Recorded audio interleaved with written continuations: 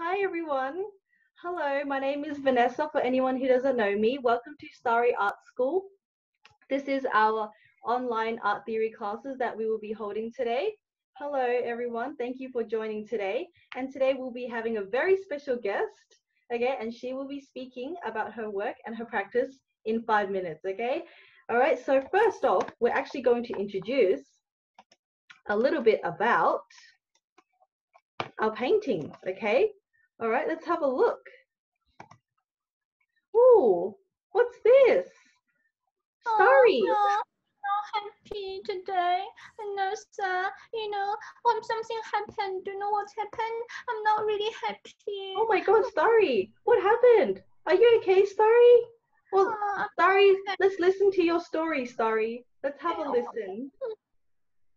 oh, Starry, what's happening? oh, you know, my mom bought a pair of shoes. She said it's brown color, and then I, I when I see it, it's a it's a red color. How come? And then my sister said it's brown color. My daddy said it's a brown color, but in my eye, it's red.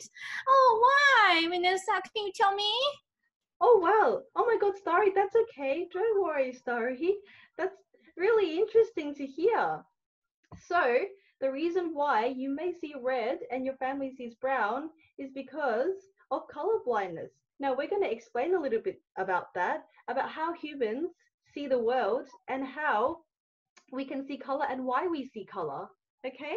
So, Starry, oh, Okay. let's introduce a little bit about this, Starry. Oh, this one is a color wheel. I know that. And then, you know, one, this is a white one. That one is for sunlight. Because all the color combined together will become transparent. And then another one is a black color. And then that one is for all the paints blend together. It will be close to dark black. Is that right, Vanessa? That's right. So when we do our paintings and we mix the colors together, when we mix all the colors, we can see that it turns into a very dark, very brown color. And then that's why it's really important to not mix a lot of colors together. But when you look at a rainbow in the sky, we can see beautiful, all the colors like red, orange, yellow, green, etc. And we can see that when the sunlight splits into all these colors, it becomes a rainbow. Now, I wonder how can we see? So everyone, when we look at the beautiful colors, we can see humans have three color cones in their eyes. And then in our eyes, we mix them together, we can see beautiful colors around us in the world. Okay.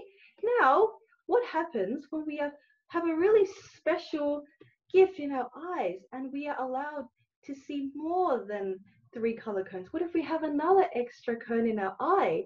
Let's welcome Concetta Antico, the world's first tetrachromat artist. Yay!